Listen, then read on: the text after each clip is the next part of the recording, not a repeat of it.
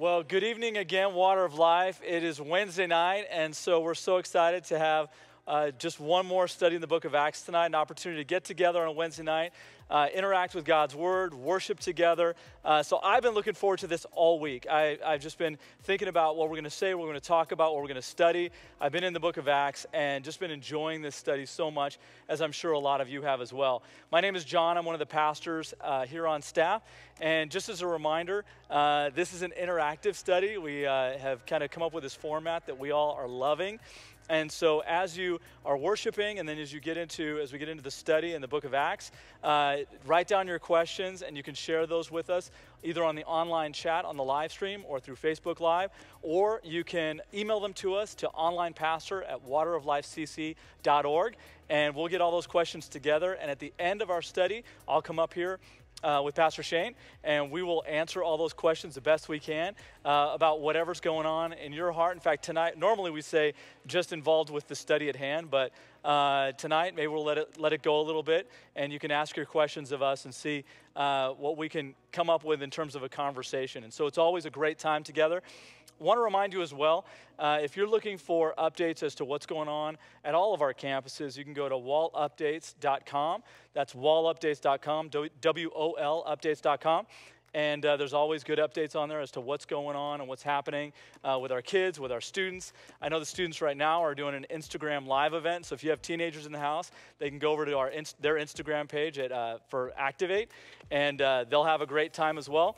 And so before we get into worship, I want to encourage you to just uh, ready your hearts. Uh, I have a scripture that I want to share with you. Uh, we're talking about Paul and his journey to Rome today. It's kind of the end of the book of Acts, and it's kind of this culmination of all that's happened and, and the church's next steps. But I think as Paul went to Rome and later on as he had a relationship with the Roman church, he wrote some things that I think we can definitely apply to us today that a lot of us need to hear. And so this is from one of my favorite chapters, Romans chapter 8. Starting with verse 35, Paul writes, who shall separate us from the love of Christ? Shall tribulation or distress or persecution or famine or nakedness or danger or sword? And then he goes on to say in 37 Knowing all these things, we are more than conquerors through him who loved us. For I am sure that neither death, nor life, nor angels, nor rulers, nor things present, nor things to come, nor powers, nor height, nor depth, nor anything else in all creation will be able to separate us from the love of God in Christ Jesus our Lord. And so, Father God, we come to you today.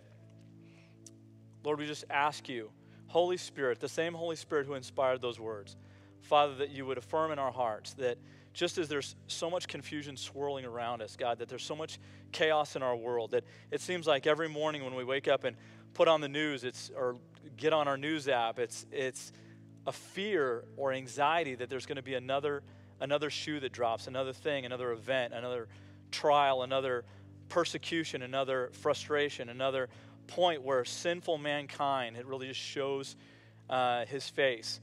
And so, God, I pray that you would affirm in our hearts that you are still on the throne, that you still love us with an unconquerable love, an undying love, and that there is nothing in all of creation, things that we've never even imagined, things that have happened in the past, things that are happening in our present, there is nothing that can separate us from you.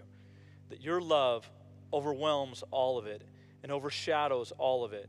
And in the end, that's all that will be there. It's us in our relationship with you. Your love for us that was so incredibly strong that you would send your own son to be sacrificed so that we could be in relationship with you. So, Father, thank you for these truths. May we just sit in them tonight as we worship and as we go into the study of your word. In Jesus' name, amen. Well, why don't you uh, ready yourselves, whether you're standing up, wherever you're at, however you're doing it, whatever your posture is, let's worship together.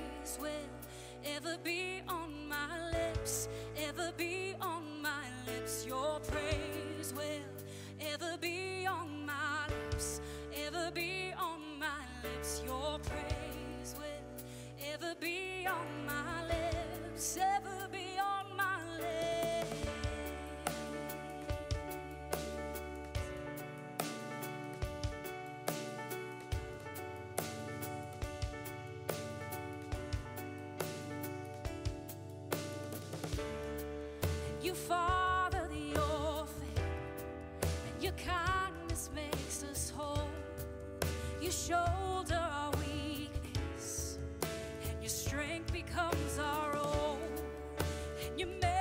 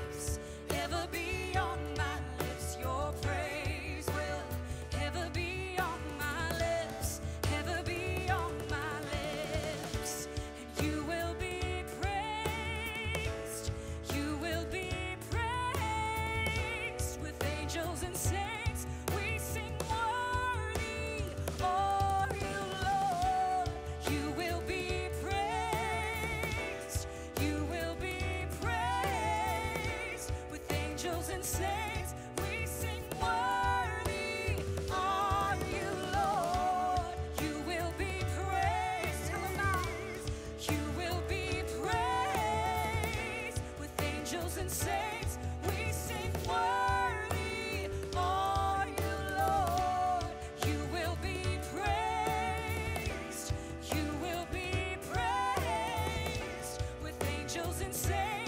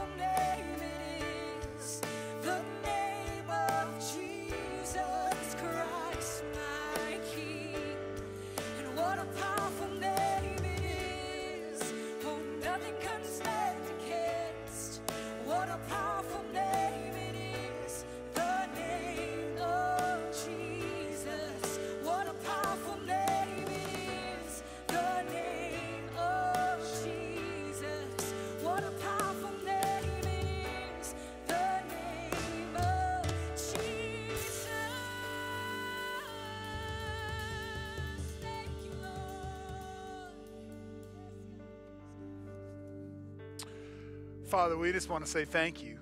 Thank you for a chance to be together again for another week. Thank you for a chance to worship together. Thank you that we can say things like we just sang that you're wonderful. Even in the midst of trial, frustration, pain, suffering, you're still good. And Father, while we don't always understand why, we know this that you're always with us because you promised us that you'd be.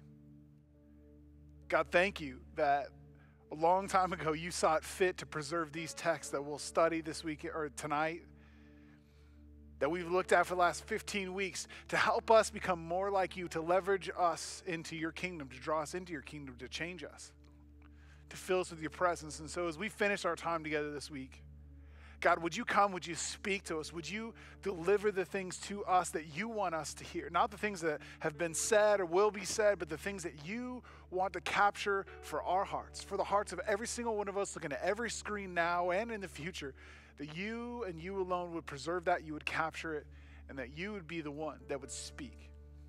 So give this time to you and just say thank you. Thank you for what the last few weeks have meant, and thank you for what you want to do with them.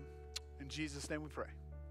Everybody said, Hey, I need to do something really quick um, before we jump in. So if you're with us right now live. Listen, this has been our this is our 15th week, and so this is going to be our last week as we finish the book of Acts. We are at the end of the book of Acts, and there's something that I just need to say here because all of you, the hundreds of you and thousands of you, possibly even watching later or at home right now, don't know this, but every single week it takes almost 20 people for this Bible study to happen, so that you get it delivered to wherever you are sitting at home. Um, there are our online team. A lot of you are interacting with them. Josh Josh has led our online team along with Nate and a few others every single week. And we just want to say thank you to you guys. You've done a fantastic job. I wish this could be the moment we could turn the camera around and show everybody.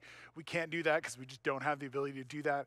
But there are also dozens of people that are working on this campus every week as well, uh, from our media folks, our sound crew, to those are working in our editing booths. We just want to say thank you. Thank you guys to them. And those of you guys um, who will never be known because of what you've done, we just want to say thank you to you too, to the worship teams. We've had dozens of worship teams come through here over the last 15 weeks. We just want to say thank you for, to you guys for making that happen. And so there's a lot of unsung heroes. Um, a lot of us probably just think that we turn a camera on. There are a lot of people back there behind those cameras that are making this happen for the last 15 weeks. And so we just want to say thank you to each of you. And so um, John hinted at it at the beginning of service. Um, we're going to finish up Acts, and I'll get into that in just a second. But the thing that's interesting about where we are in Acts is this.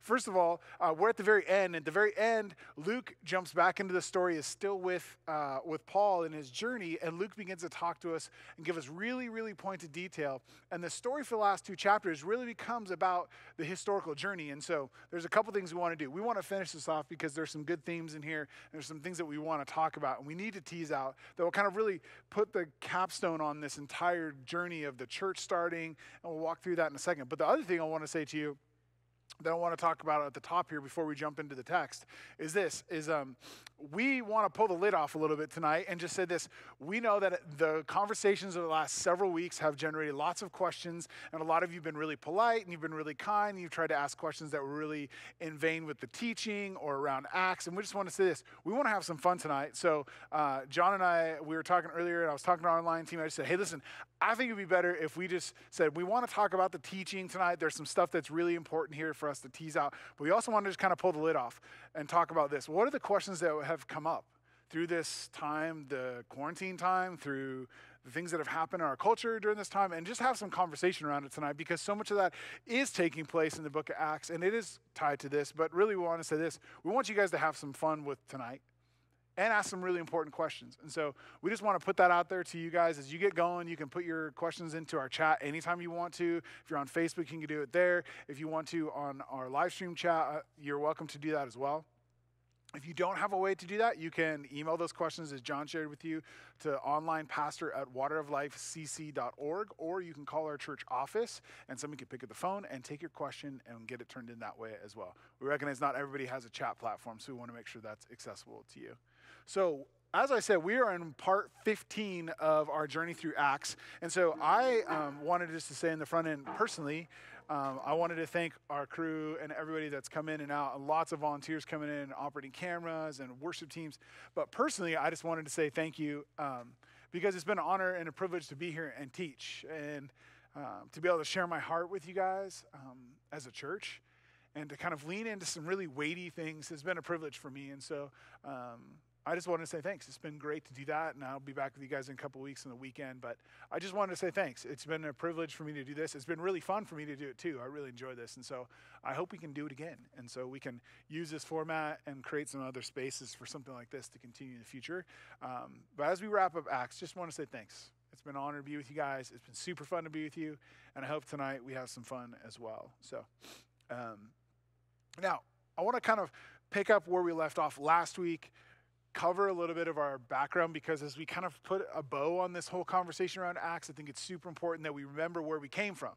And I think where we came from kind of starts with some themes. Um, and there's things that, that probably um, most of us have forgotten because we're so far down the journey in this thing and we've become so centered. And if you're following us, um, you've been following us for the last 15 weeks, you realize the conversation started out around Jesus, right? Jesus is the beginning. He's leaving, he goes to, to heaven. He gives a commandment to the disciples wait until the Holy Spirit comes. And then when he comes on you, then you're going to go to Judea, to Samaria, to the very ends of the earth. And then you see the eruption at Pentecost.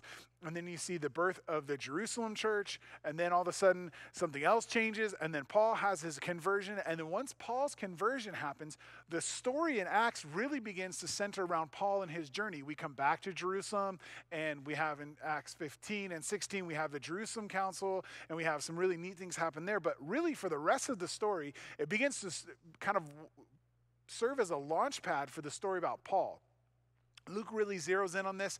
Luke probably wrote this, uh, fi- we guess probably 15 or 20 years after all of it happened is when we finally get a full manuscript from Luke. And so that would put us somewhere between 60 and uh, between 55 and 60 AD, which would put us about 22 to 25 years maybe 27 years after Jesus. We think Paul arrived in Rome, and we'll talk about him arriving in Rome sometime around 60 AD. So that puts us like 23 to 27 years after Jesus ascended and went to heaven. And so we are not far behind the Jesus movement, movement, excuse me, moment, right? So 20 years, you think about that, just 20 years. Like I graduated from high school 20 years ago, so I, I, it, it feels like it was you know, just yesterday. Imagine this. This is still fresh. This Jesus movement, the experience is still very new. And the Holy Spirit comes and these things begin to set out. Now, there's a couple thoughts as we jump into this I want to kind of tease out here. And then I'm going to come back to them and revisit them as we finish tonight. And that's this. First, um, for us to miss the point of Acts, we will miss the point of Acts if we miss the message of transformation that is weaved into all of Acts. And I want to leave that there, and we're going to come back to it, but we can't miss this. Because one of the dangers of doing a study and, and going through verse by verse or chapter by chapter in our case, because we didn't always go verse by verse, but going chapter to chapter and talking about the content and talking about the theological implications of some of these things and what it really looks like. One of the dangers of this is that it can lead us to begin to understand our experience with Scripture as transactional. And I want to stop for a second and say this. Listen, we cannot for a second miss the call in Acts, as we talked about last week and the week before, the call in Acts specifically on Paul and on Peter and on the church. It's this thematic, it runs through the entire thing. The call to transformation that is tied to the kingdom of God. When the kingdom of God comes, transformation happens. Listen, don't miss this. The kingdom of God moves when people are willing to be put in places to be used for transformation. And that is abundantly clear over and over and over again from Peter going to Cornelius' house, from the Jerusalem council to people going out into the streets and preaching and putting themselves in uncomfortable positions, for them being beat, from Stephen being stoned to death, from the multiple martyrs that we see evolve out of this Jerusalem church and into the Gentile churches. All of these things point to a really, really, really specific thing that we have to recognize that studying scripture should lead to transformation, not transaction. This shouldn't be about information. This shouldn't be about us just having an experience. This should be about transformation. Now, I know I'm preaching, I'm not getting into the text, but I'll get there. Listen, God didn't preserve this text for 2,000 years for us. For us just to get information. This is about change. And I'll touch on this in a little bit. But the truth of the matter is, is that Scripture is part of its responsibility and goal is to is really to serve as a mirror for us to reflect on. And that was where we left off last week. We left on this reflection that the king the invitation to the kingdom of God is an invitation to transformation, and that transformation is an invitation to change, and change requires a willingness to wade into life, into a life or a moment of uncomfortability. And that's where we left off saying Paul recognized his call. He accepted the kingdom call, the call, the, the invitation to the kingdom, and he responded to it and was willing to wade into the uncomfortable things. And we see the miraculous come out of those things. We see him walk out of jails because the jails fell over out of these things. Listen, this is over and over and over a theme in this is that Paul is willing to wade into the uncomfortable, to live uncomfortably, in order to see the kingdom of God come and change him and change the world around him. The big picture that we left off with last week as well was this is that God is using something oppressive to transform his people not for just this moment, but he's using Paul, as we'll see in just a second when he arrives in Rome. He's using Paul and he's using Peter and he's using his church and he's using oppressive moments to transform his people in that moment, but not just for that moment, for all time. And not just for that group of people, not just for Jews or Gentiles, but for all people, for all time. And he wants to do that with us, in us, and through us as well. And this is this, these stories are really, and, and really this scripture is really a, a launching pad for us to lean back into ourselves and see what God is doing with us. Um, if you haven't been with us, I would encourage you to go back because you missed almost the entire story.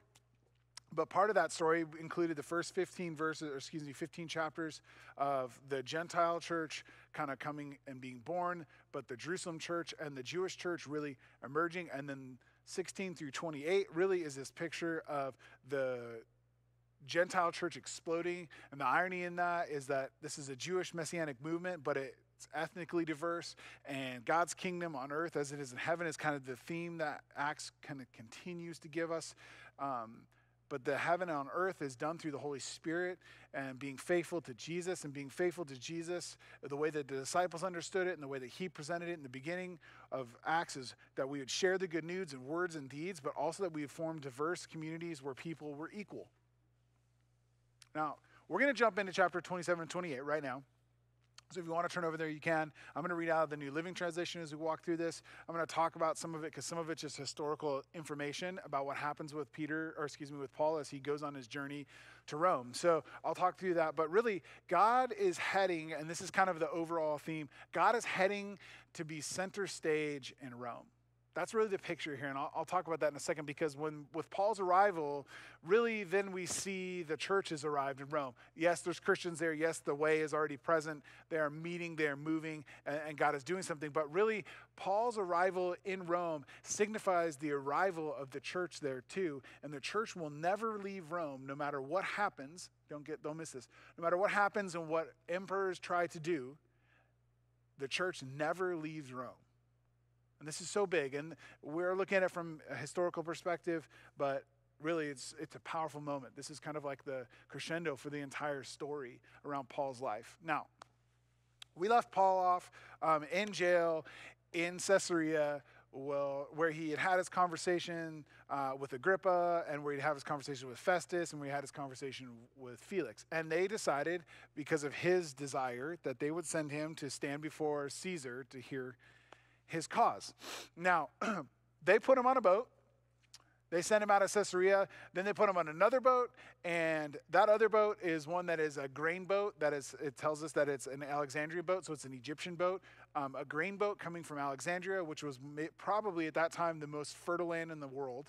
And it was going to Italy or to Rome. And what was happening is that because of the way that the trade winds work and stuff, if you're familiar with the Mediterranean world, they would actually leave Alexandria. And because the way that they had to follow the winds and they needed by the ports, they would come on the eastern side of the Mediterranean and you use the winds and the currents to push themselves back up and go back up into Rome because everything was sailing back then, obviously.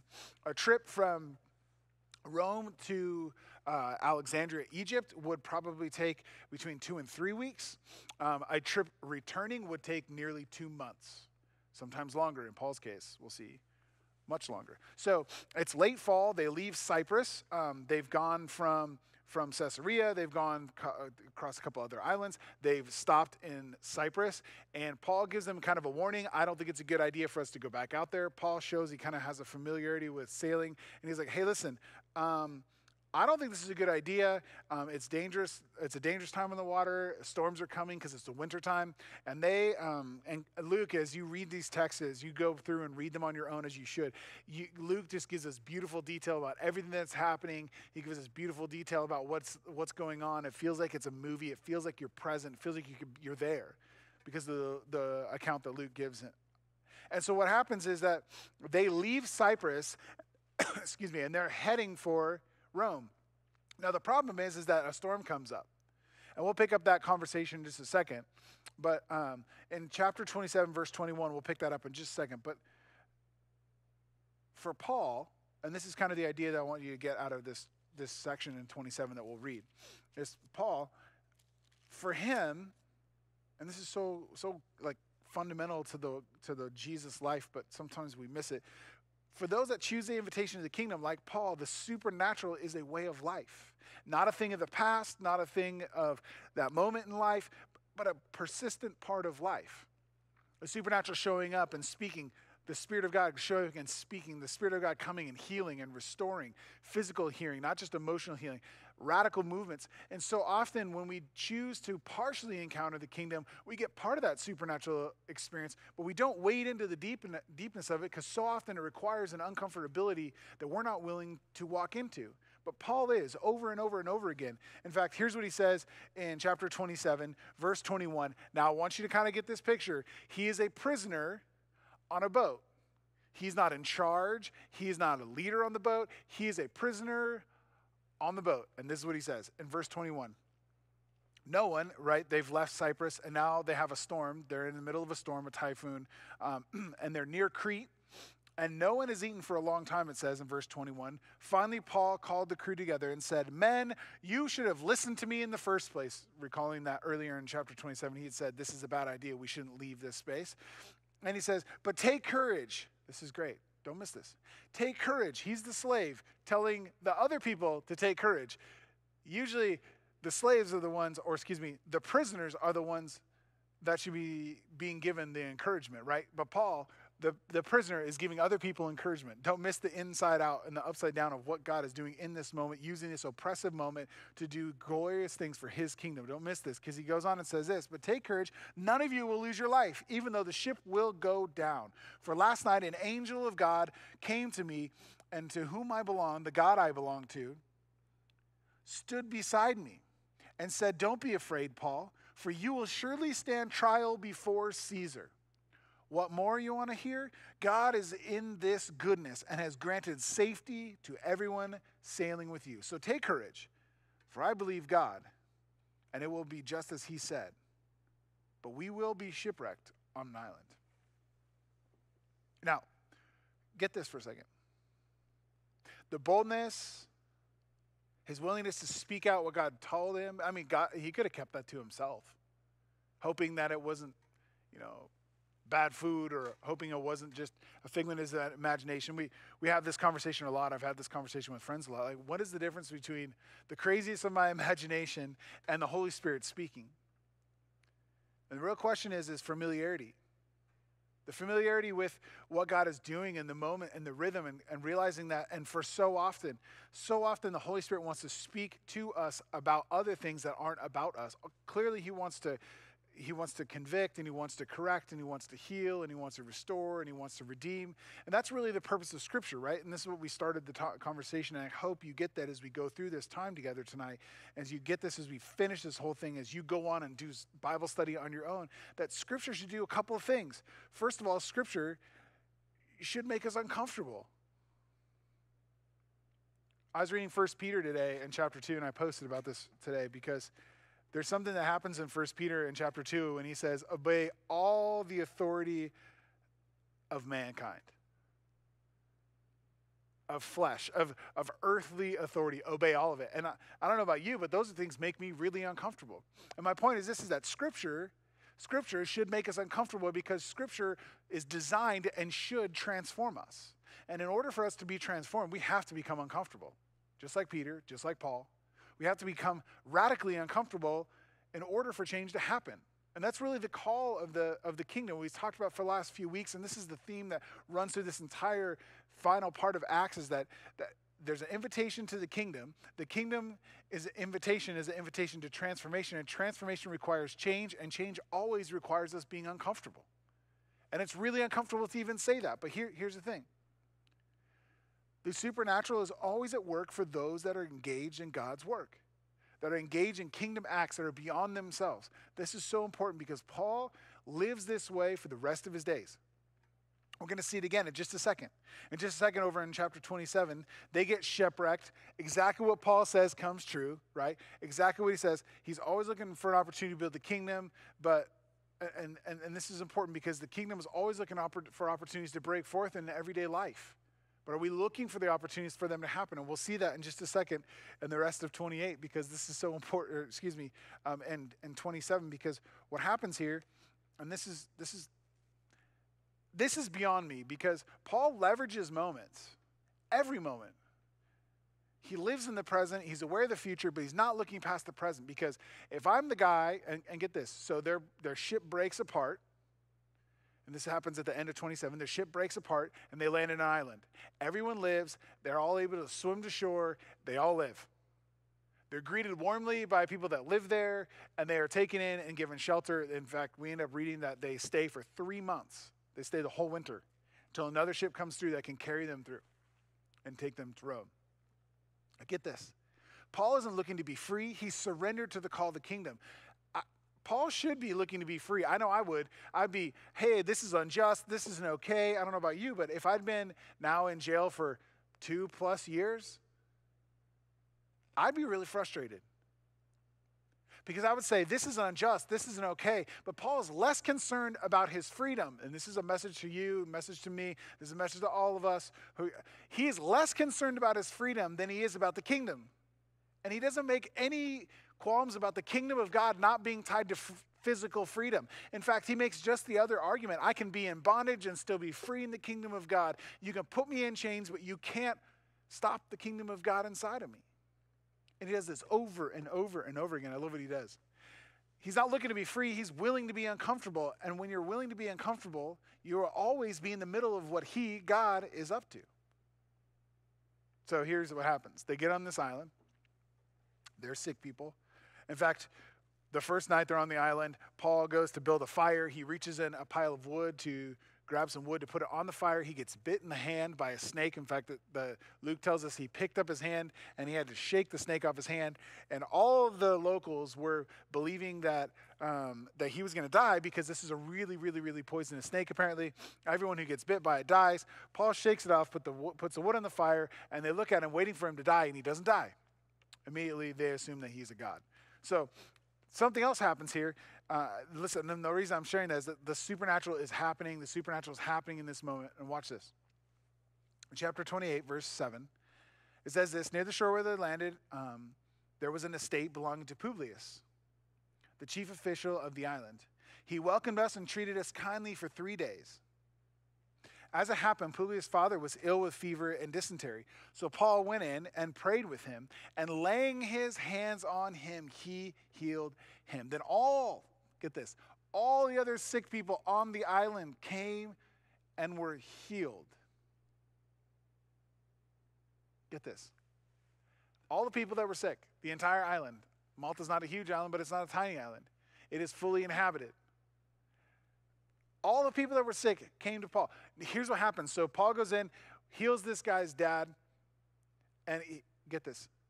Paul doesn't do this under his own authority. Paul doesn't do this for his own glory. Paul just keeps pointing back to heaven, saying, If I lean into the kingdom of God and I lean into uncomfortable circumstances and I lean into a circumstance where I go pray for this guy's dad, knowing that he might not get better, I'm still going to lean into it because I think the kingdom of God wants opportunities to break through. And he said over and over and over again, whether I'm going to be on a slave ship or I'm, I'm in prison, I am going, I'm going, I'm going to lean into the kingdom of God and what He wants to do in me, with me, and through me. I'm willing to make myself uncomfortable in order to see the kingdom of God break through into other people's lives, into other people's circumstances, and it changes everything for all people for all time.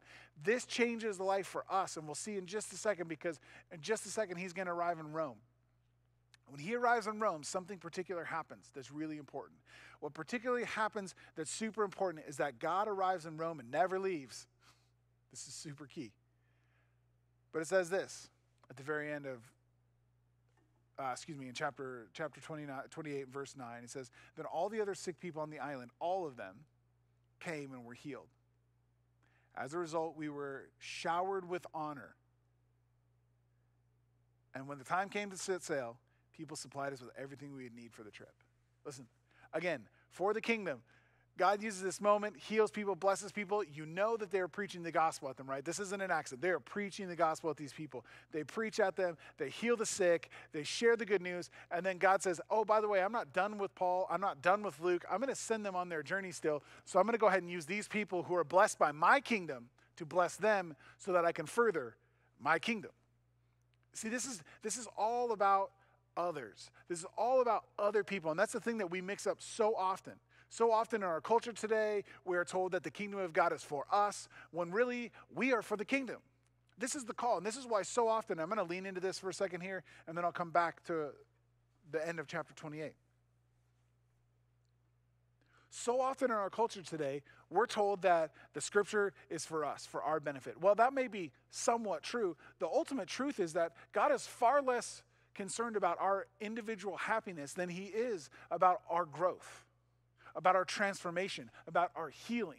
And when he's far more concerned about that, he's willing to, uh, to participate, excuse me, le- he's willing to leverage unjust, uncomfortable, uh, sometimes evil things for his glory.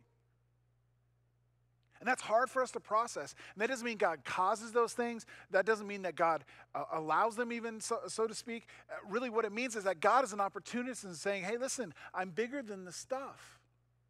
Because I'm far more concerned with your discipleship, and by that word, what we use, that word discipleship, meaning becoming more like Jesus. I'm far more concerned with that than I am about the possessions that you have or about how happy and how emotionally secure you feel. I am more concerned about healing you so that you don't look for emotional security in other things, but you look to emotional security in me starting with your identity, starting with the whole idea that our image as followers of Jesus and as children of God come from creation. That we are literally made in the image of God. That, our, uh, that what we carry has divine inspiration built into it, not because of anything that we've done, but because God saw it fit to make humanity. Get this, this is all connected. We, we look past these moments because we look at ourselves and we want to self actualize and we want ourselves to be feel better about ourselves and we want to tell ourselves things that we want to hear. But the truth of the matter is, is God is far more concerned with his kingdom growing inside of you so he could change the world around you and around me than he is about what we own, how content we feel, and how luxurious and easy our lives are. Listen, the times that God shines the most in scripture and in history is when things are challenging. And when we talk about being followers of Jesus, following Jesus means being acceptors of the invitation of the kingdom. The invitation of the kingdom to be that of transformation. The invitation of transformation being, hey, by the way, you have to change. And change always requires being uncomfortable. Yet somehow in all of our lives, myself included, we all want to be comfortable because change is hard. And, he, it, it, and this is where Paul, over and over and over again, breaks down this idea that the Christian life, that the Jesus life, that the Jesus followers' life is about being comfortable. In fact, over and over and over, he said, it's not about being comfortable, but it's about being in the spaces that the creator of heaven has designed for you to be in. And it's so hard because so many of us, myself, so many of us who've gone before, leaders in the churches, church, Big C church, have been comfortable with those things being okay. Meaning this that far too many people attend church, call themselves Christians, think they're following Jesus, but far too often we can do those things and absolutely miss the point of being a Jesus follower. Here's what I'm saying we can call ourselves followers of Jesus. A lot of us do, myself included. But we can call ourselves a Jesus follower without actually doing the things that Jesus asked us to follow. And that's a place that we should always live in tension. As we look at our lives, as we examine our lives, as Paul examines his life, he just goes all in. He just throws it all on the table, and says, I'm going fully in. As we examine our life, our thought life, our financial life, are these places that we are willing to be uncomfortable because the call to follow Jesus is uncomfortable? The call to discipleship to become more like Jesus requires uncomfortability on a magnitude that we don't want to admit. It's big, it's everywhere, it's always. That doesn't mean we suffer all the time. It means that when we get in places where we feel comfort or we are seeking comfort instead of seeking the kingdom, we begin to ask ourselves questions like this Who am I living for? Whose kingdom am I living for? My kingdom? My comfort? Or his? And his kingdom always looks different than ours because his kingdom always involves other people, always involves our lives being leveraged for other people. And this is what's going to happen to Paul as he lands in Rome. So let me jump to the final thing here because there's a couple other things I want to share before we're done. I want to make sure we have time to answer a bunch of questions too. Paul arrives in Rome, three months on Malta. Uh, they get on another ship. They go back to sea. Roman followers hear that Jesus or that that Paul is coming. They meet him along the way. It's really cool that this story because Paul, remember at this point, has already written to the Roman people. So the Roman church he's already written to. So he's built relationship. They've been corresponding. We have one letter. I'm guessing there are multiple letters. We only have one letter, Romans. Um, and, and uh, we're guessing there's more correspondence. We obviously see that here in the text. And then um, they arrive, and something's really, really important here. And I said this before, I'll say it one more time that Paul's arrival is ultimate, ultimately symbolic of the church's arrival in Rome, the center of the world. And that Jesus and the Jesus followers, the way, are going to be put on a stage for all to see. The thing that's so interesting here is that Paul arrives in Rome, and Jesus never leaves Rome. Don't get this. This is this this is the final arrival. Jesus and his story arrive in Rome and never leave. Get this. Less than 200 years later, crosses will adorn the very very places that Caesar's faces were. In 200 years from Paul's moment, the entire Roman Empire will worship Jesus. This is big. This is like the crescendo of the Christian moment. Christ, the church, have arrived in Rome, the center of the entire universe. And listen, I know, listen, paradigms are going to collide here. History shows us that. Paul seems to kind of know it. It's a big deal for him to go. And his ardent longing and desire to be in Rome really kind of gives us a picture. He knows that something big is supposed to happen in Rome. I don't think that he probably understood that it would change all the world for all time. Maybe he did. Maybe we should think more like that.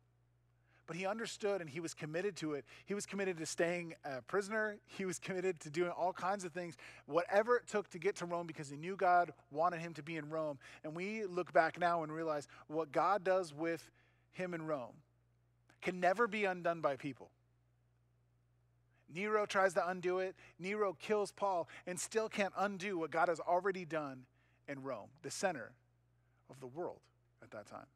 The center of the world is going to be the stage by which God launches his kingdom into all the world.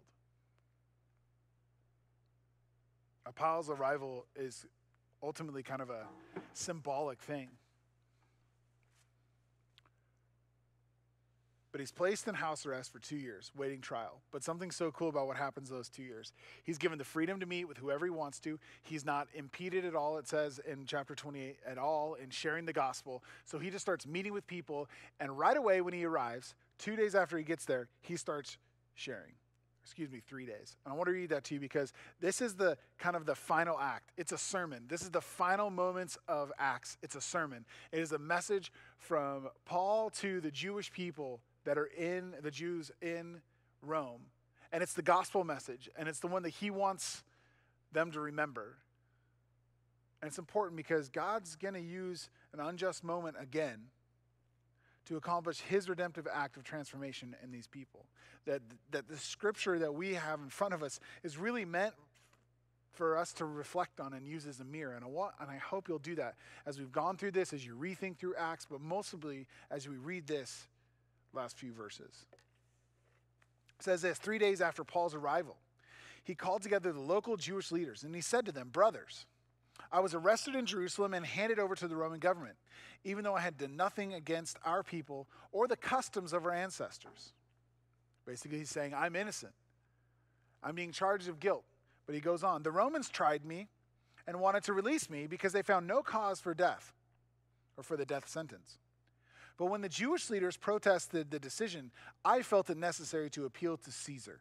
Remember, we talked through this a couple of weeks ago. His trial last week and the week before, his trial begins to kind of take on this like mirror image of Jesus' trial as well. But Paul, being a Roman citizen, can appeal to Caesar to try his case. But when the Jewish leaders protested the decision, I felt it necessary to appeal to Caesar, even though I had no desire to press charges against my own people. Meaning, I have no desire to put any of the people that have done me harm, who tried to kill me, who wanted to put me in, in jail, or really ultimately kill me. I don't want anything to come harm to come of them. This is Jesus talking. This isn't Paul. Paul used to be the justice guy, right? Get this.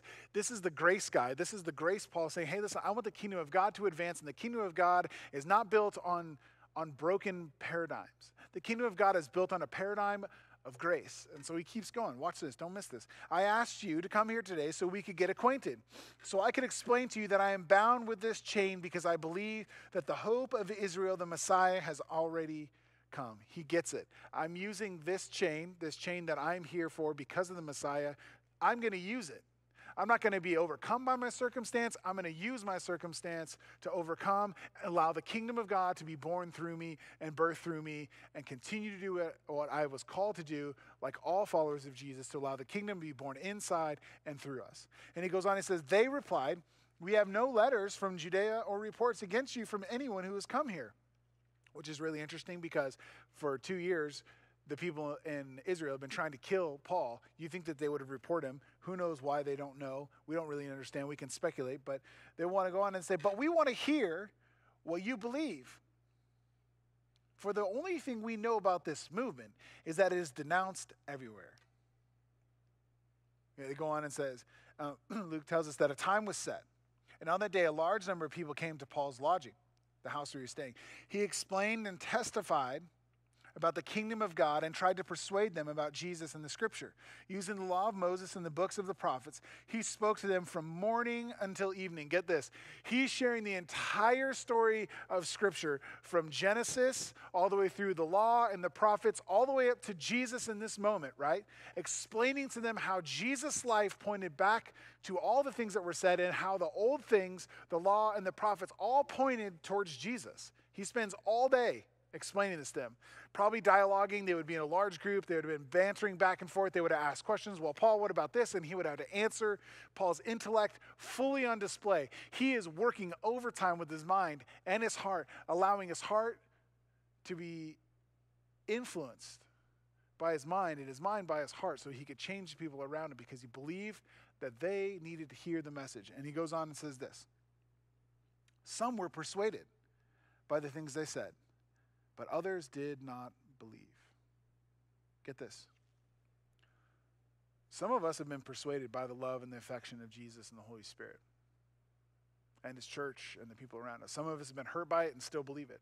But some of us, some of us have heard it and thought that hearing it was believing, when really belief is a verb that looks a lot like Paul's life. Well, Paul is so clear that we receive the gift of salvation through faith and faith alone. There's a response because of the, the magnitude of the kingdom of God and what God does in us as He heals us, as He transforms us. The response to that becomes how can I not live for the kingdom? See what He says here? This is great. Some were persuaded by the things, but others did not believe. So many of us have sat and not believed. We haven't fully believed, we've partially believed. We've believed enough for this area of our life or that area of our life. We haven't believed for the whole thing. We haven't believed that the kingdom of God actually could be something that we could participate in, that the kingdom of God wants to be alive in us, that God wants to heal people through us, that God wants to restore people through us, that God wants to do signs and wonders through us, that God wants to redeem maybe I, God wants to redeem structures and systems through us. That God wants to redeem our friends and our neighbors and our marriages and our spouses and our kids through us. Amanda and I were talking about this the other day. We were driving out to um, just take a day away. We hadn't been away. In fact, our daughter's one and a half, and because of COVID and some other things, like we've not actually been able to spend a night away. And so we drove um, out to the desert to spend the night for a night, and uh, we were driving out and just having conversations about kids and family. And uh, one of the things that came up is the conversation about how hard it is to embrace the reality today that our job as parents is to reshape our kids' personality to look more like Jesus and to be healthy. And one of the things that we kind of dug, dug into, and one of the reasons we struggle with messages like this, living like Paul, is that so often we forget that we are born broken. That as broken people, that we, we are born broken, and, God's responsibility, and our parents' responsibility, and God's desire, excuse me, not God's responsibility, God's desire is to change us and to reshape us to look more like Him. And our, our job as parents is to acknowledge and remember that even our kids are born broken. And brokenness leads to sin, and sin leads to evil, and evil breaks people. And the thing that's so important is that we recognize that because we forget that. Because we live in a world that doesn't really believe that anymore. We live in a world that tells us that we're okay until something happens to us. But the truth is, we've never been okay. From the day we were born, we weren't okay. And God has been in the active process of trying to redeem us, heal us, fix us, and reshape us. And we have to recognize that. If we don't admit that thing, our humanist perspectives will overrun our ability to understand what God is trying to do through the kingdom. Paul finishes by saying this. He says, The Holy Spirit, in verse 25, was right when he said to your ancestors through Isaiah, Go and say to this people, When you hear what I say, you will not understand.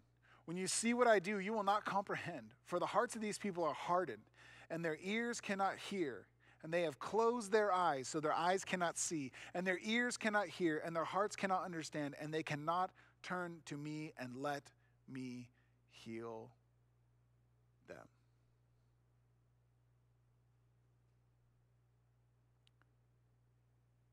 I think this is a message for us as much as anybody.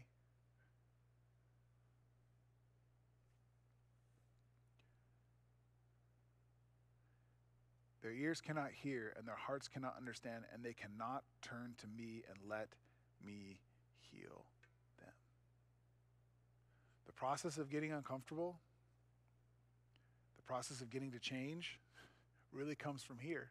From being willing to hear, see, and allow God to do what He wants to do. And that Paul finishes by saying this, and one this is like the crescendo, remember, this is the, the very end of Acts. This is how Luke ties it all up for us. He says, So I want you to know, he's still addressing the crowd, that this salvation from God has also been offered to the Gentiles, and they will accept it. He goes on and says, For the next two years, Paul lived in Rome at his own expense. He welcomed all who visited him, boldly proclaiming the kingdom of God and teaching about the Lord Jesus Christ, and nobody tried to stop him. Paul later dies in Rome at the hands of Nero, about eight years later. But Paul understands something so key. He understands himself to be in Rome, not for himself, but for the Jews and for the Jesus followers. It's the same conversation he had with Felix, with Festus, and Agrippa. I'm not here for me. It looks like I'm here for me, but I'm not here for me. I'm here for you. He fully understands that his life is to be leveraged for other people. This is so important that we don't miss this. Because we started our conversation today about are we living in spaces that make us uncomfortable? Are we willing to live in spaces? We talked about this last week about race and privilege and money and time and travel and how we feel comfortable and seeking comfort over seeking uncomfortability and change and the kingdom. But the real, real, real pointed issue that happens in Acts is that the power and the presence of the kingdom show up through the Holy Spirit. And we miss the point of Acts if we miss the message of transformation. The Spirit begins a transformation in Acts, the Spirit arrives. Peter gets changed through his racism, his elitism. He has to come to terms with those things. Paul has his road to Damascus thing. Listen, this is just a theme of, of transformation over and over and over again in Acts. Road to Damascus, he has Paul just has a radical transformation.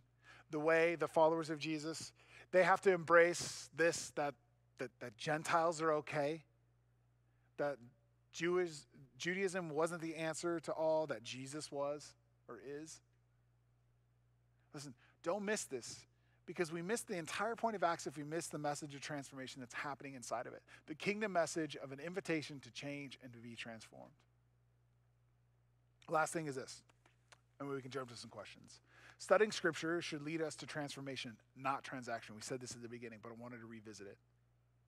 God preserved these texts for change, not information. See, scripture do, should do two things, in my opinion. It should make us uncomfortable, and that uncomfortability should lead us to change and transformation. Or it should soothe, heal, restore, and give hope, which is another form of transformation. Really, the scriptures should be this thing that we mirror, that we, that we bounce our lives off of, but also, and I, and I want to lean into this for a second as we finish here. The greatest tragedy that we could have is if we walk through 15 weeks and 28 chapters of Acts and we have a transaction of information. If we don't have some personal reflection on what God's trying to do with us as we look at Paul's life about him leaning us, uh, calling us to lean into this kingdom of uncomfortability so that change and transformation can happen, really that, that would be the biggest tragedy. And my hope for us and for you would be that we would reflect on these things. I'm hoping most of us have already started taking action and living different because of this, doing different, serving our communities, living uncomfortably, having conversations. Maybe just the first thing is at home having conversations around race and fear and all the other things that are going on right now.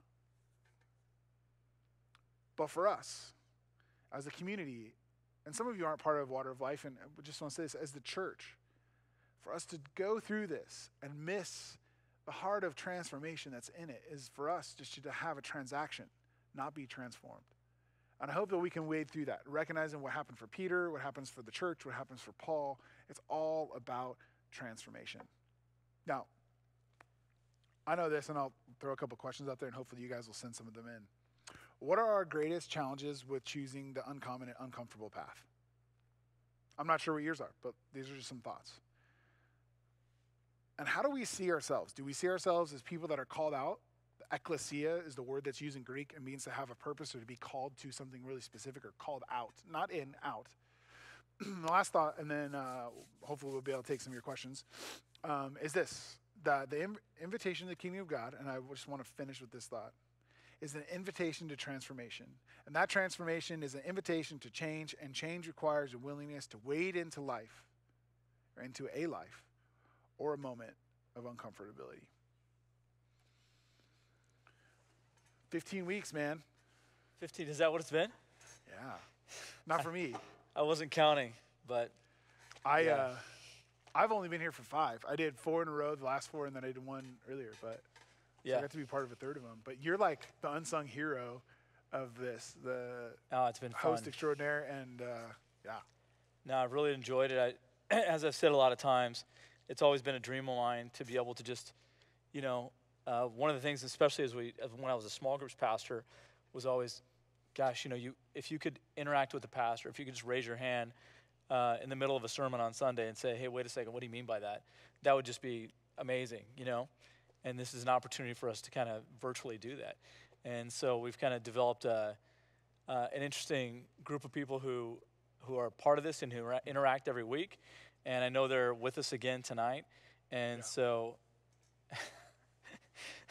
Well, we told people to have fun, so I'm uh, guessing that people maybe probably we have shouldn't fun. have said that. I'm looking at one of these questions. I'm like, Yeah. maybe we shouldn't have said that. So, um, So we got a fun question. Are you going to read the fun question? I'm not going to read. You're the not fun gonna read the fun question. No, okay. no, no. All right. Um, It's like one of those is God too big to can God make a rock so big that he can't move it kind of question. yeah. Yeah. Nice. But it involves a microwave and burrito. So uh, I'll let you uh, go with that. Yeah. So anyway, Shane, thanks so much for just taking on I know you took one earlier and then the last few weeks, and it's been really fun to, to journey through this with you and hear your heart about this. We don't, we've never heard you teach, I think, like verse by verse like this. I've never heard myself teach verse. Uh, so. so it's it's been good. We've really enjoyed it. I I speak at least for myself. I know I have. No, thanks. Um, That's and uh, and I I need to say this, and I, I said, hey, thanks to all those other people earlier on, but thanks to you because you've made this happen, and your grace in walking through this and really having a passion for this has kept it moving. And um, for myself, for Dan, like you've helped this happen in a way that uh, has been uh, really profound. So thanks, man, because you really bring a lot to the table in this, and it's been important to have you here. You ask good questions too and help us rethink those things. You did it last week to me. Somebody even pointed out, they're like, hey, you kind of halfway answered that question, and then John just kind of called you out and then made you answer it again. And so thanks for doing that stuff. It's really good for us to, you've, you really helped shape the conversation probably more than you realize. Well, it's fun. Like I said it's fun. So um, here, let's jump in. All right. I don't want to rob these guys their opportunity. Last last chance to to get you on the spot. You're in the hot seat. All right. So Corey L. Hi Corey, by the way. Um, we we've met here, and then I also got to meet him over the weekend. And Oh, cool. uh, so here's here's my question. I know it's kind of off point. No problem. I was born raised Catholic, and they say how they are the original church, and Peter being the first pope. I could never, I could just never wrap my mind around that. I know it isn't biblical. However, why that viewpoint with them? Where do they get that from? Great question. Um, and one that has a lot of rich history, but one that has a simple one too. The simple history is um, is basically that Jesus tells Peter, "Upon you, I'm going to build my church." Right. Right. So this is kind of the initiation to Peter being the first leader of the church, right?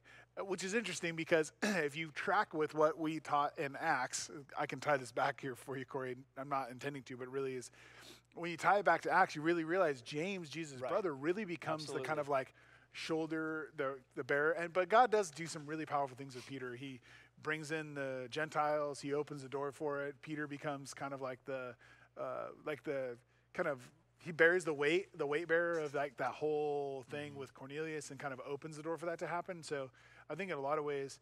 Um, Peter is really a founding member of church. The other thing is, is um, historically speaking, Peter and Paul are given credit for um, kind of being the founders of the Roman church, which would make sense why um, why they were kind of see, be seen as like the first pope. He would, um, and so uh, that those two things historically have tied them together for him being the first pope.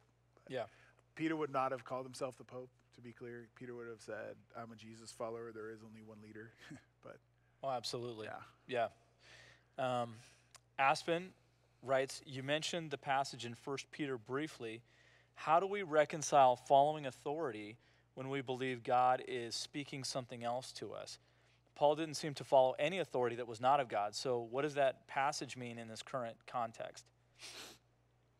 Um, I'm not sure how much time we have to tease this out, but um, and I don't want to go down a rabbit hole too far that we can't get out of. But I would say this to be clear: Paul does actually submit to authority, and he honors it. In fact, we see him in the temple because I I posted something this week, and part of this question I think is um, coming from that. I posted something today about the Second Peter passage, um, but the Second Peter passage really just says, "Hey, listen, you submit to all human authority," um, and I get that, and, and there's been times that that passage has been used historically to even hold um, Africans enslaved in America. And so I, I don't want to skip past the, the importance of people abusing Scripture um, to do things like that. But I, I would I would say that Paul really does honor authority, and this is interesting. He appeals, he leverages it. I would disagree with the the idea that Paul doesn't follow any authority that was not of God.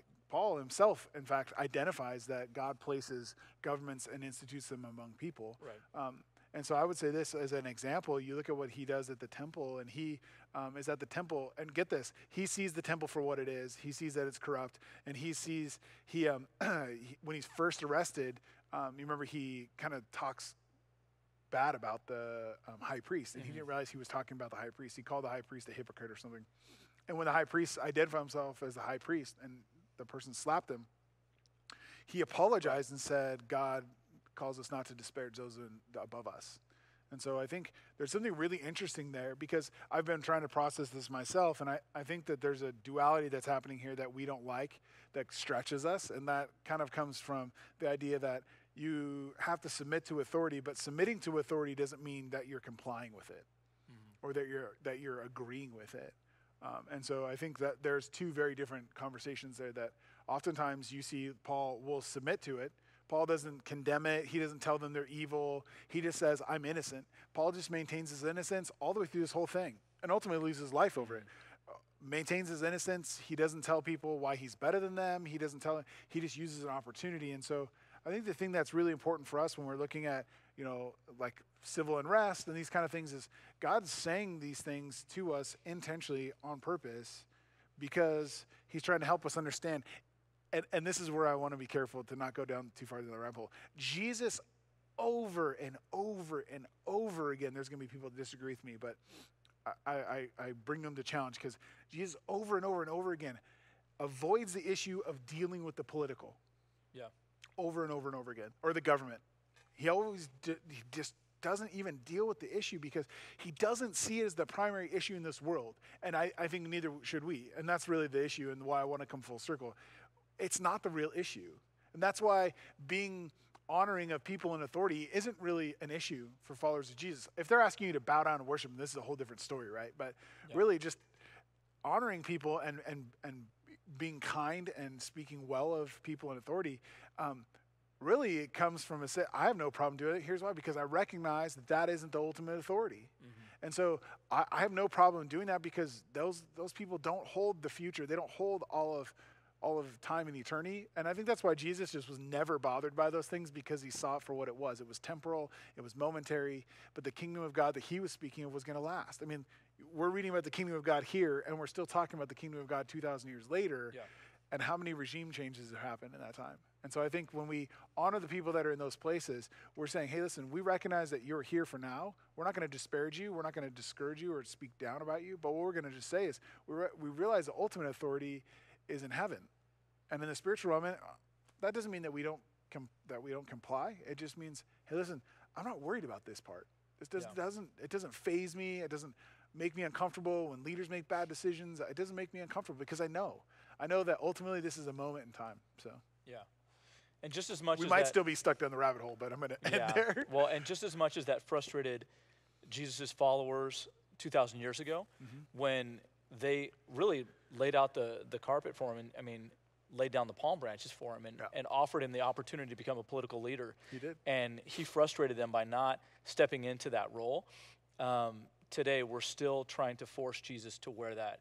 Yeah. That you know that mantle is to say we still want him to be a political leader. We still want to name him as our the reason for our you know whatever our, our social issue is and um, he still refuses to do that and he still frustrates us in some ways And he says, I'm going to be the Messiah. I'm just not going to be the one that you wanted. right I'm the one you need, not the one you want. Right. We want the political leader. We want the person to justify us, to make our position, to justify our position that you're right, you know. But uh, Jesus isn't interested in people being right. He's interested in the kingdom.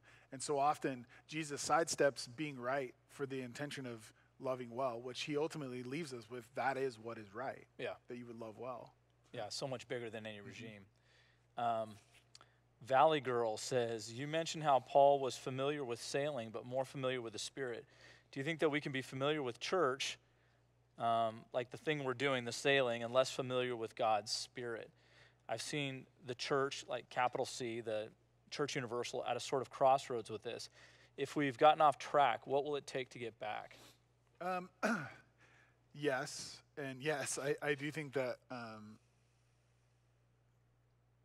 we do find ourselves less familiar with God's Spirit and more familiar with doing church.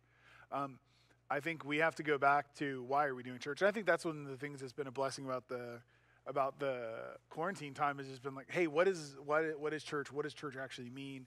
What is the value in church, and why do we do it? And really, church is not about a building. Um, and I think so often we forget that. Um, so often, even working in a church, we forget that the church is Yeah. not the building. Um, we even refer to it, you know.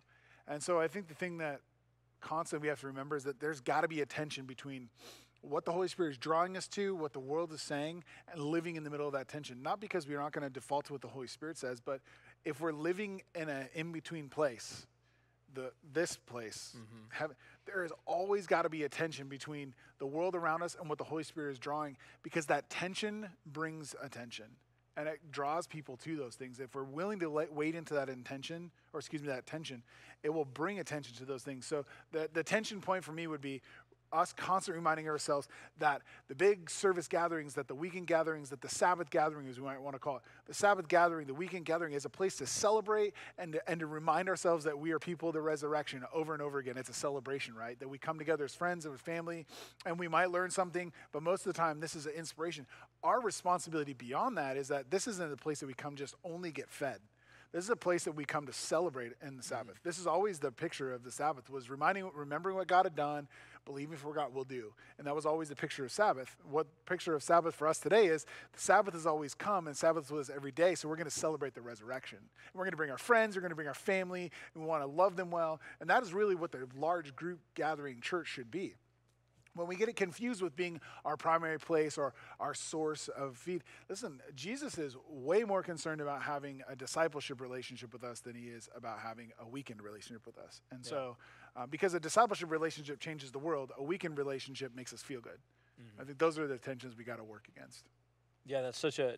I mean, I grew up as a lot of people did. Church was Sunday morning at 9:30 a.m. or at 10, whatever, you know, and that was church. That, like you said, we've conflated. At least you didn't grow up as a pastor's kid because then it was every service. That's true, but we've we've conflated the the the building, the name of the building, with the event, with the um, the what we're our responsibility as Christians, and so the word church is almost like we we need to just change that out and say call this building something else, call our Sunday gathering something else, and be the church and understand that you know being the church is something so much bigger, like you were So saying. right now, a bunch of you are calling at your house. So That's true. Yeah. that's good. Um, so the questions are rolling in, and, and, and including some luminaries that have piped in here. So we're going to have to move a lot faster. So That's let's, um, yeah. So uh, Snuggles says, "Help me understand. Move fast. Now explain discipleship. Um, help me understand discipleship and what la- what that looks like in the church, or what it should or could look like."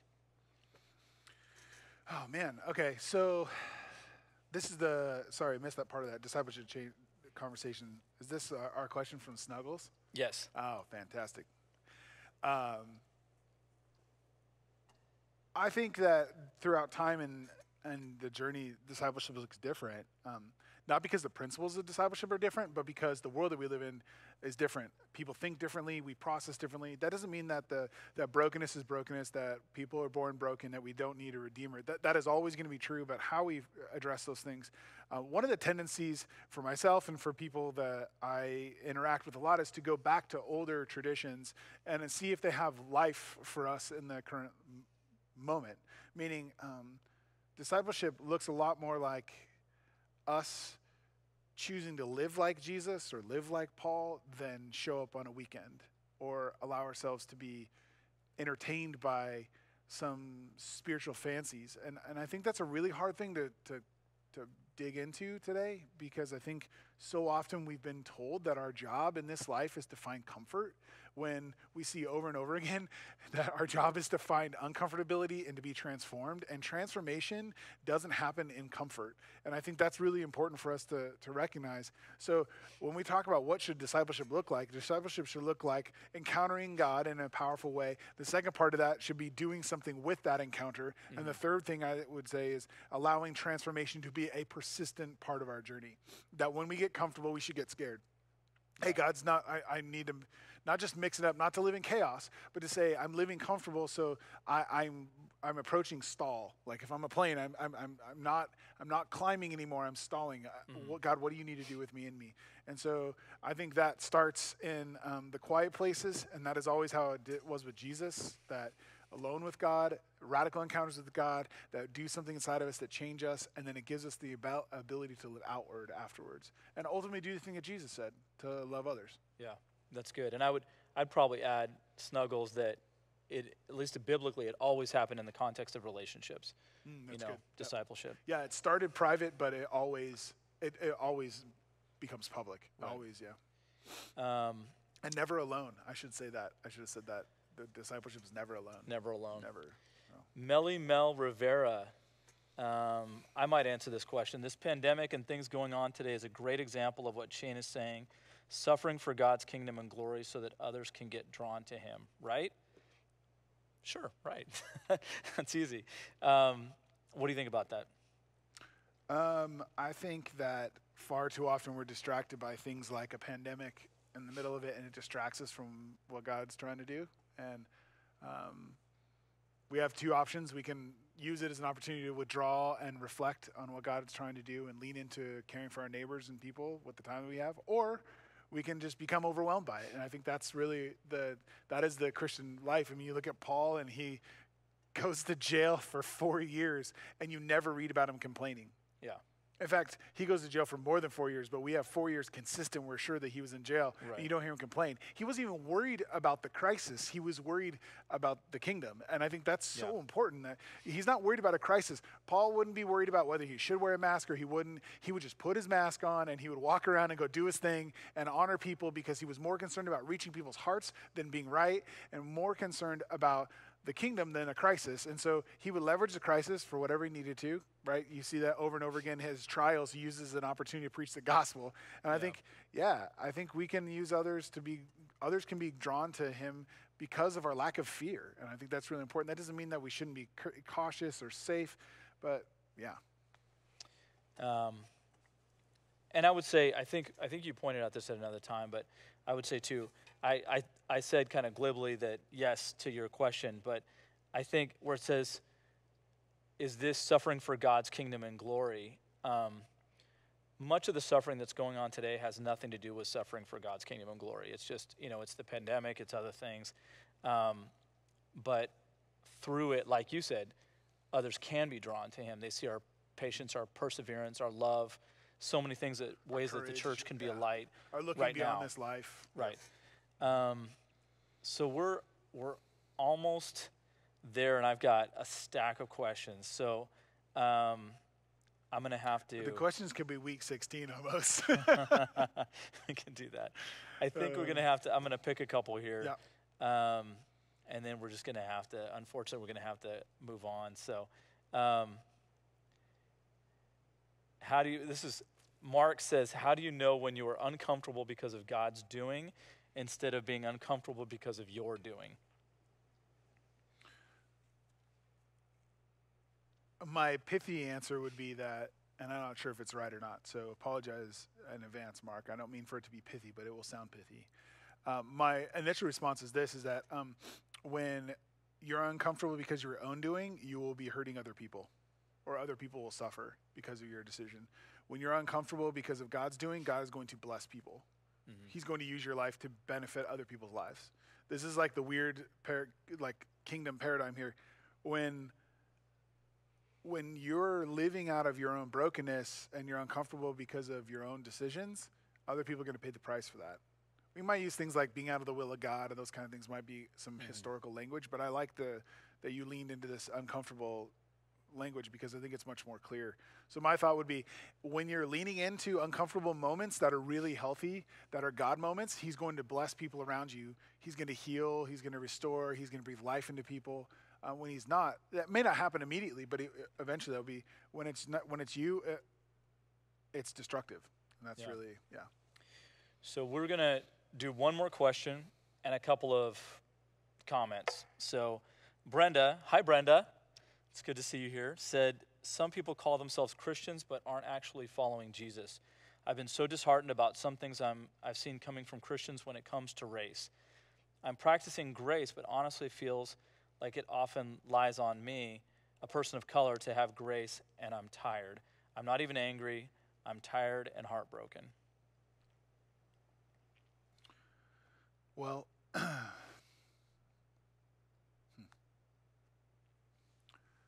you know, the thing I think uh, that we all have to remember is that what's obvious to us is oftentimes not obvious to other people in the middle of their brokenness and their failure. And that's where the grace and that's where the understanding comes. It doesn't make it okay. It doesn't. Um, but recognizing that people's blindness to their own sin, to their own failure, to their own brokenness, to their own bigotry, um, is something that they haven't come to terms with yet. Um, do I think a reckoning with the church is happening? I- I do. I think people are really having a hard conversation, a hard look at themselves Yeah. about how they see race, how they see people. I think they are, whether they want to or not, they are. Now, whether people are responding well to that is a different question. I think what's happening for Brenda is people are responding poorly to Yeah. their paradigm changing, their thing being being moved, their perspective being moved, and I think um, I don't think it always means we're not following Jesus when we sin. I think that's hard. I think we can be in the process of following Jesus and stumble, and I hope that this is a stumbling moment for the church that we learn from, that we grow from, that we heal from, that the Yeah. world looks to us to lead from. I think we can we can position ourselves to do that. Historically, race and reconciliation has happened in the church, and I hope it can continue to. But so often when people are hurt, we forget that this is that person's sin affecting us. And it feels really personal when it's based on the color of your skin. It feels really personal when it's based on the way that you speak or how, where you live or how you eat or dress. It feels really personal, but it's still sin. And looking past the sin is what Jesus always did. Because if he stopped at the sin, the cross never happens. you know? Yeah, that's good. Yeah, and what it tells me is I, I hear somebody who says that from our church who says they're a person of color who is tired and heartbroken. And what that says to me is I need to think of the people in my life to whom I need to extend extra care during this time, uh, extra prayer, uh, and extra grace. You know, I need to think about who who am I going to encounter? Who do I have in my life? Or people I just meet on the street or whatever, wherever at the store, and can I extend more care to them? Can I extend more love, more prayer for them? Can I give them more grace for whatever's going on? Um, not to excuse things that are you know that are sin, but we don't have to tolerate it. That's Yeah. not, we don't have to tolerate But like it. you said, the- the church- it, yeah. the church is beautifully poised to be a light on a hill right now. Mm-hmm. You think of an incredibly diverse group of people, I mean, incredible diversity, and they've spent their whole lives in this trying to figure out how to love people well. Yep. We're perfectly positioned. We should be And I, exactly. I like I haven't said this publicly, but um, I've said this to in some staff meetings and some other places. Like, as a church, Water of Life. Let me be specific. As a, wa- a church, Water of Life is positioned in a really unique place. When we get up here and we have conversations about race, we had conversations with Bishop Omer. When we do marches, we have these, when we do marches and we end up at also at, at you know at police stations. There, there's something really important that that I don't want us to miss as we journey through this because we want to have more conversations about this over, through the summertime at least. And I- think the thing that we forget is that if our church leaned one way or the other, we lean more left or we lean more right, it, this would be a really easy conversation.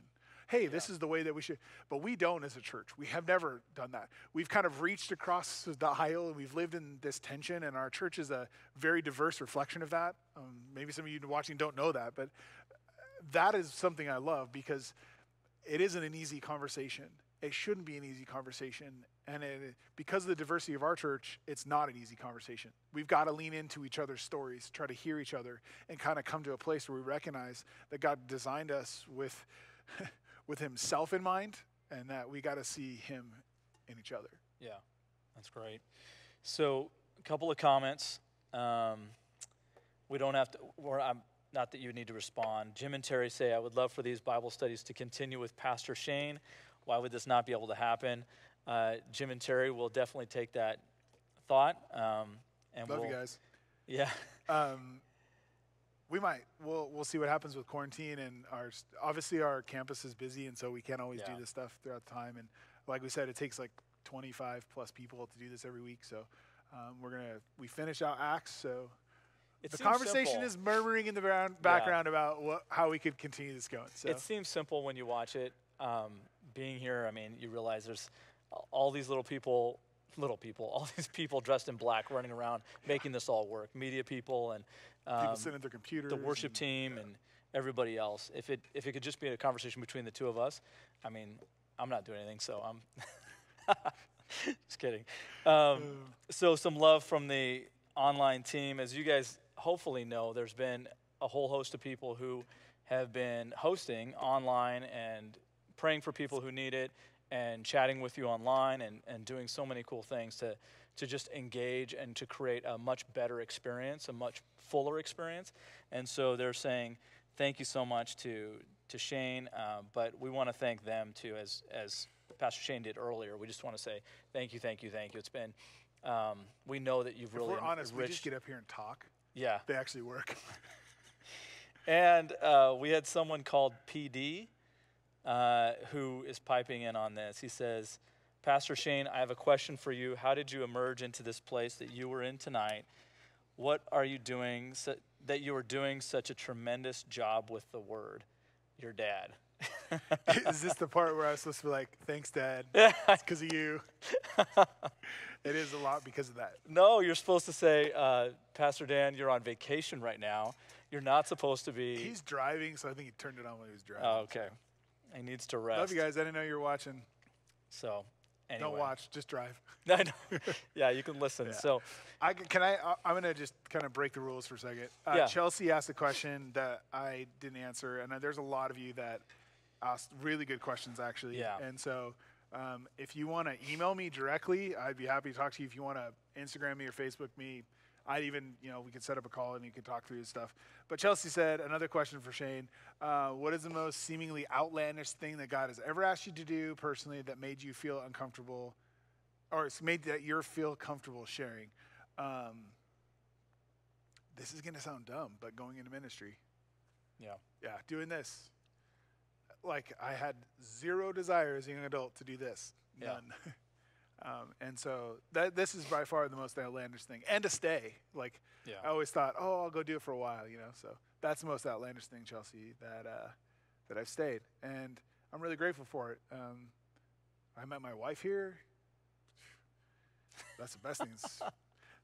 Though most outlandish thing anybody else has done is marry me. So Yeah. um, Well, Anyway. on behalf of Water of Life and the community and a lot of other people, thank you for saying yes. Thank you for choosing to go into ministry, and thank you for staying. Um, so I'm going to extend your offer. Um, so we have, uh, I think it was Joanne, Tater Tot, Masada, Chelsea, Kalani. Um, write Shane an email, yeah. and he'll answer your to questions. John L at wateroflifecc.org. Exactly. No, I'd love to. If you want to talk, um, we can do. Maybe we'll pick up some Instagram lives or something to answer some more questions at some point. But Yeah, that'd Yeah. be cool. So, thanks again, and thank, thank you guys. thank you guys, everybody who's online, uh, everybody who's been watching, wherever you've been watching. We just want to th- say thank you so much. This really was a, a Bible study that was was only going to work if we had people who would engage, if there were worshipers who would worship with us, if there were inquisitive minds who would send us questions. And so we want to say thank you so much for being a part of this journey over the past, you say 15? 15 weeks. And so um, my, my prayer for you is that we would be able as a church to go from this into other spaces that God has created for us to experience the same kinds of things. So I'm going to pray that for us real quick before we uh, formally are done. So, Lord, we're thank, thankful to you most of all. Um, you built this church just as you promised through uh, Jesus to, to Peter when you said that verse that um, when that Shane referenced earlier. Um, the verse was, uh, "You are. I will call you Peter. You are Peter, and upon this rock I will build my church, and the gates of hell will not prevail against it." And so, God, we thank you that you build your church, that you put us all together, all these people. And Father, I pray that as we move forward from this Wednesday night Bible study, that you would create spaces as you promised to do, that we would be able to experience uh, worship, that we would be able to experience going deeper in your word, that we would be able to experience community together in all kinds of beautiful ways that you've created for us. God, that we would just be obedient, maybe even when it's uncomfortable, to step into those spaces, to step into those relationships, so that we would see uh, you continue to grow us in a beautiful and supernatural way. So, God, I pray that you'd be with each one, keep them safe, Lord, be with their families. God, just speak to them in ways that maybe you never have before, uh, before all this came, came around. So, God, we thank you so much for your church. Pray traveling mercies on our pastor and Gail. And uh, thank you so much for what you're doing here. In Jesus' name, Amen. Well, that's it for us. We're going to formally say goodnight. God bless you guys, and um, we'll see you at the weekend.